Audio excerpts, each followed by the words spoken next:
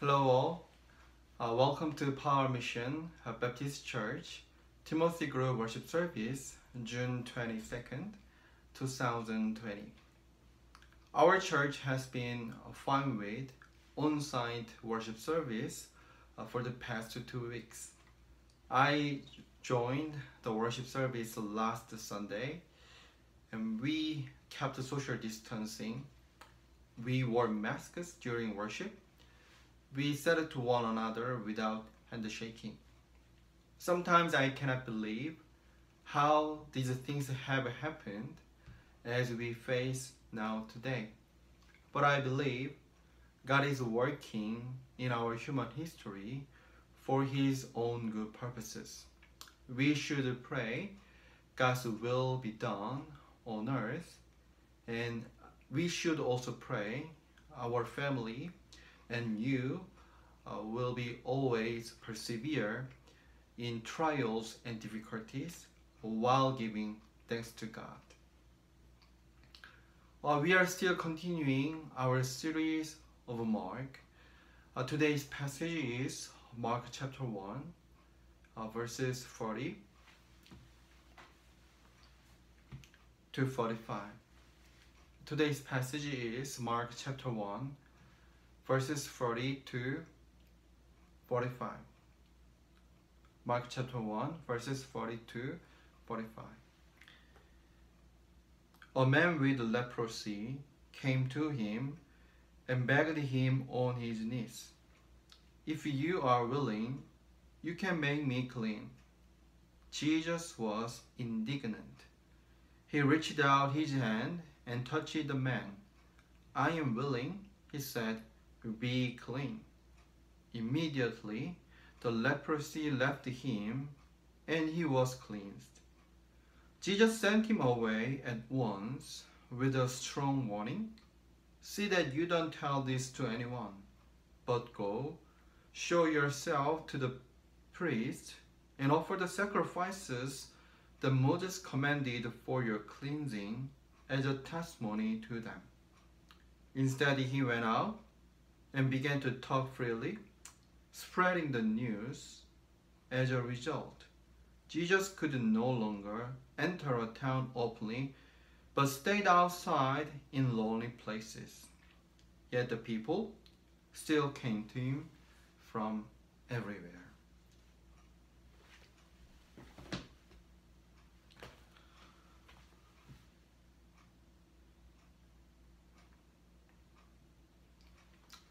A man came to Jesus uh, one day.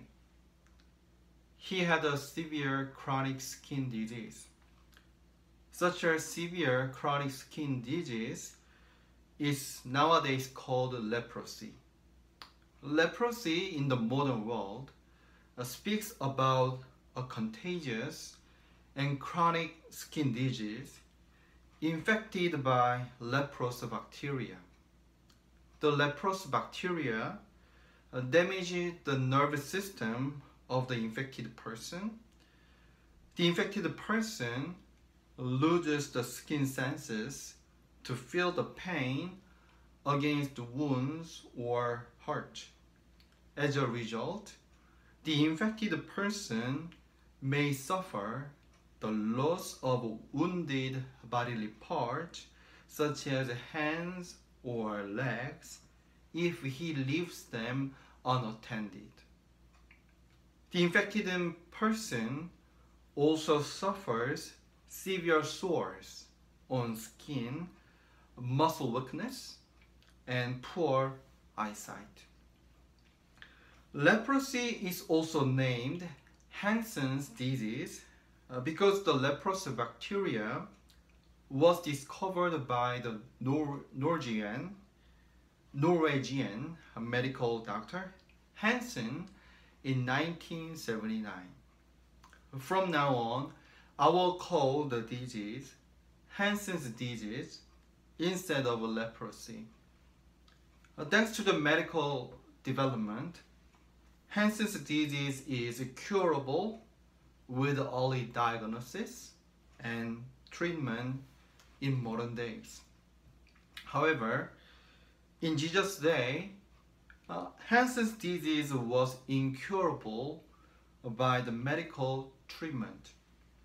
It was contagious through a physical contact between a leper, uh, that is, a person infected with Hansen's disease, and a normal person. Lepers were separated uh, from the Jewish community. They lived in their own community outside the city walls.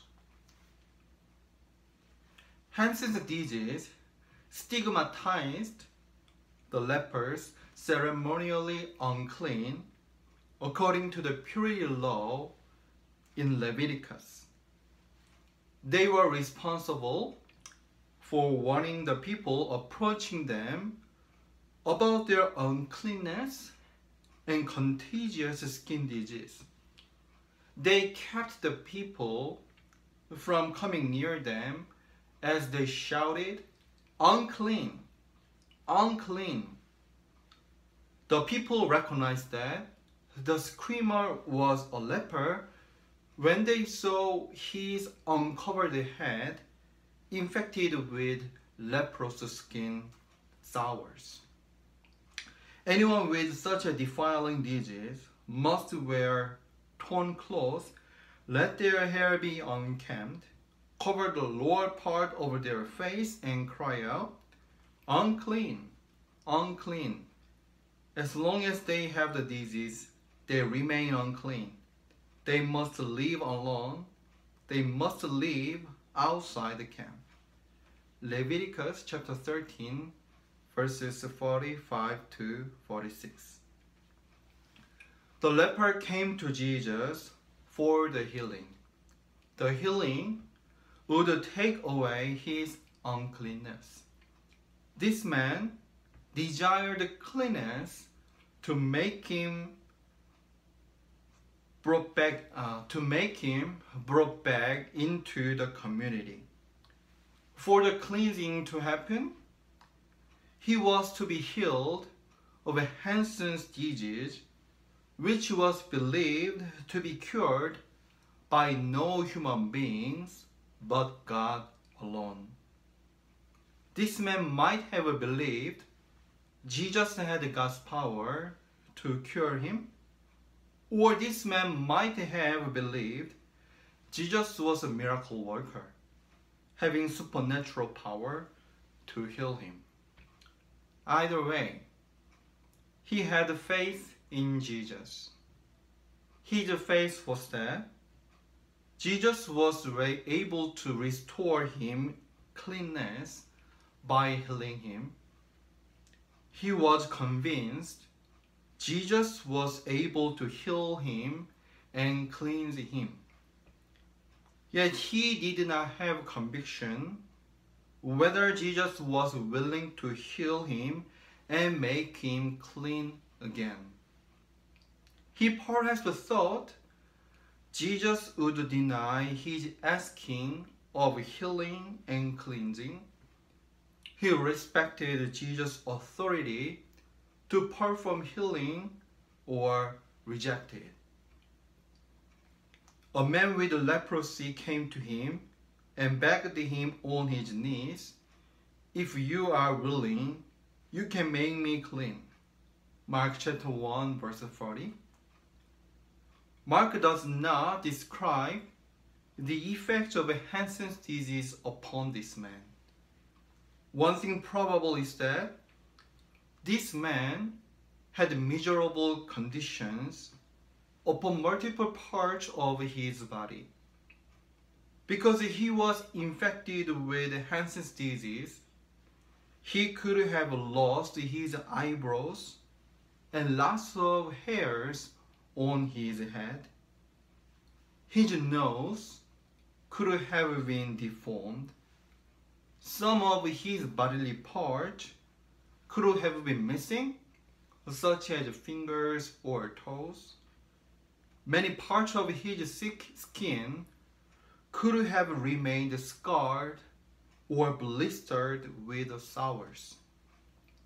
How would you feel If you happened to see such a leper with devastating conditions, maybe the first reaction would be repulsive at him. We would want to avoid coming near him.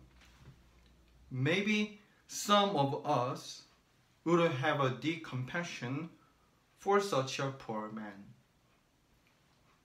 Jesus did not react with repulsion against him when he saw the man.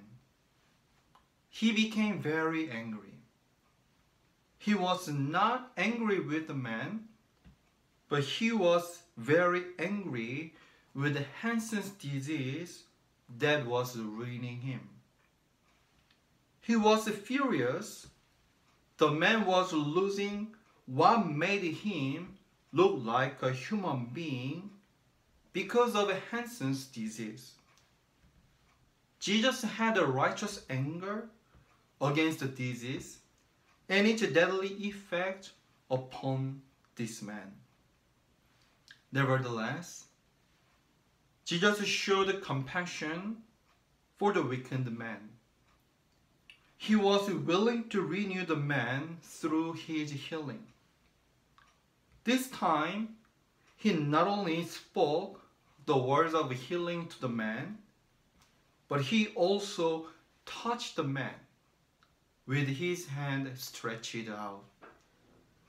According to the law, Jesus now became ceremonially unclean by touching the leper who was ceremonially unclean.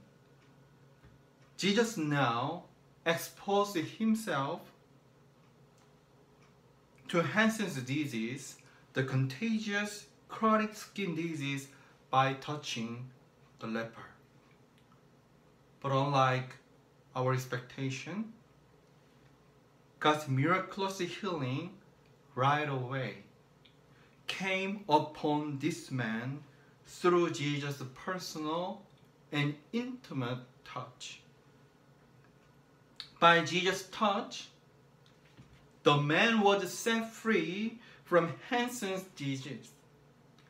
The healing was immediate and perfect. The man was fully restored from Hansen's disease right after Jesus touched him. His deformed nose became set in place again. His lost eyebrows grew dense. His disfigured fingers, toes, or any of his disfigured bodily parts became fully recovered.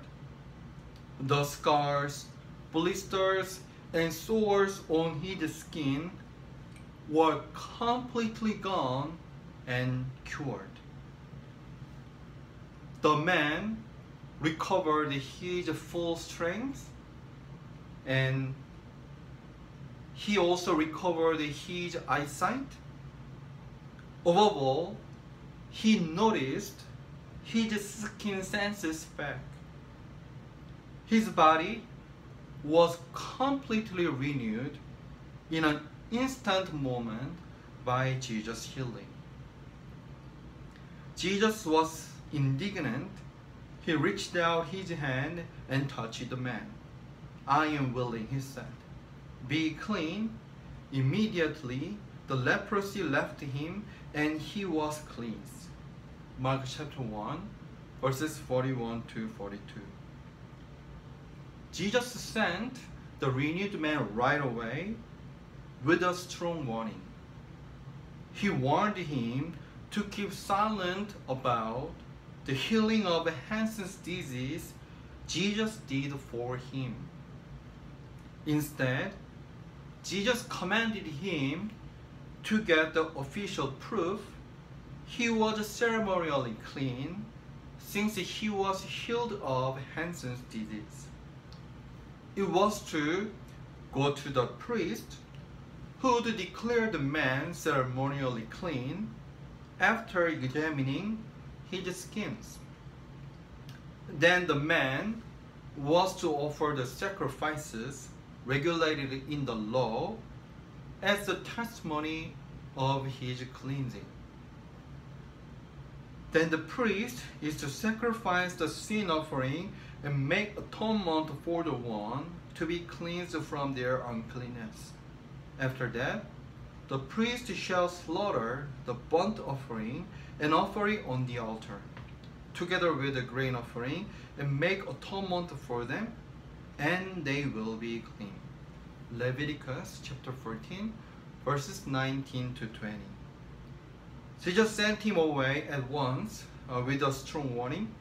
See that you don't tell this to anyone, but go, show yourself to the priest, and offer the sacrifices that Moses commanded for your cleansing as a testimony to them. Mark chapter 1, verses 43 to 44. The man obeyed Jesus' warning in part. He probably kept Jesus' command to go to priest and offer the sacrifices. He was able to go back to his family and community since he was declared clean and he was no longer a leper. However, he was disobedient to Jesus' command to remain silent. He became a passionate witness, spreading far and wide how Jesus healed him of Hansen's disease. His action was understandable because he was healed of Hansen's disease, an incurable disease at the time. It was a very rare healing in the Bible. It was the third time God healed of Hansen's disease throughout the Bible. For the first time, God healed Miriam, Moses' older sister. The second healing was when he healed Naaman, the commander of the army of Aram. By the healing of Hansen's, uh, uh, the healing that happened to the man by Jesus in the passage today was the third one. By the healing of Hansen's disease, Jesus showed God was present among Jews. Jesus was God among them, the divine healer of Hansen's disease. The news brought the immediate effect. Jesus was no longer able to enter a village openly since Jews pressed in from all directions wherever Jesus went in the town. Consequently, he was forced to stay in lonely places far outside the, the, the towns. Still, Jews continued coming to him from all the directions. Instead, he went out and began to talk freely, spreading the news. As a result, Jesus could no longer enter a town openly, but stayed outside in lonely places, yet the people still came to him from everywhere. Mark chapter 1, verses 45. Jesus healed the man of Hansen's disease. The man was fully renewed in his whole body in a quick moment. It was the healing God alone could do. The man became ceremonially clean. He went back to his family and community. We cannot heal the incurable disease which God is able to heal, but we can be friends to those people sick with chronic incurable disease.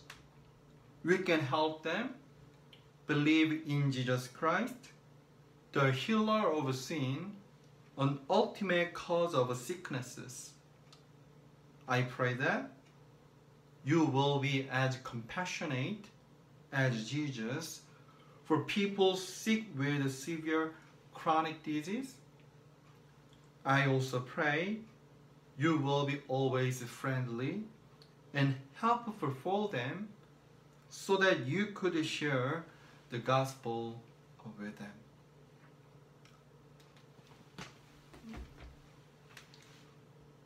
Heavenly Father,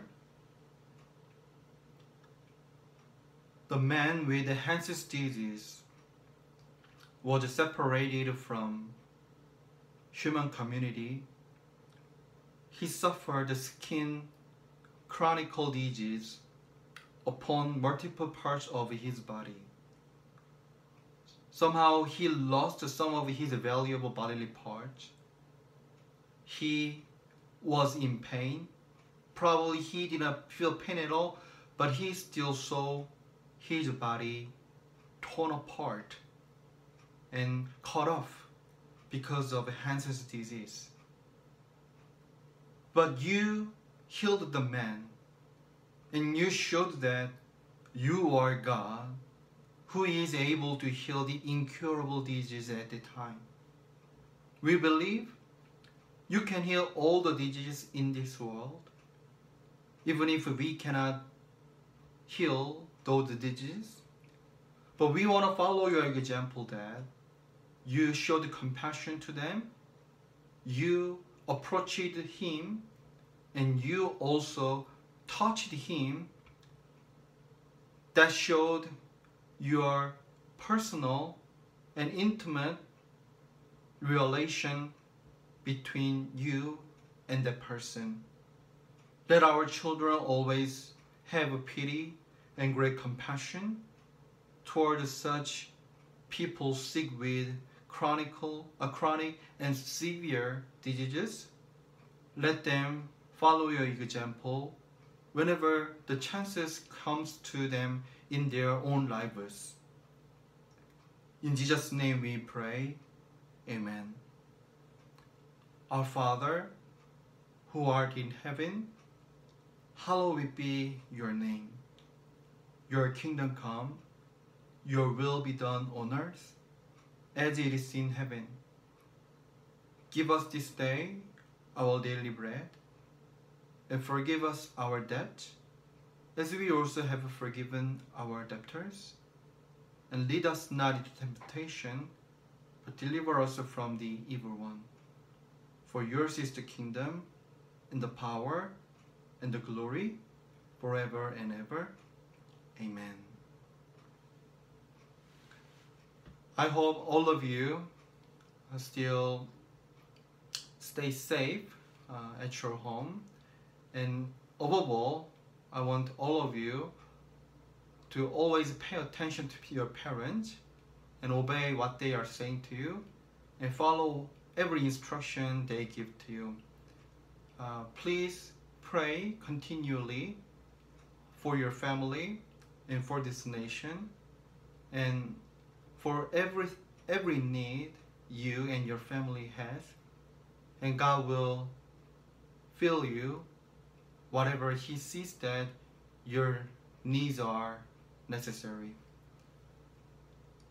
Um, I hope we can see soon each other until that moment. We still pray for each one another and we still think of each other. Okay. Bye.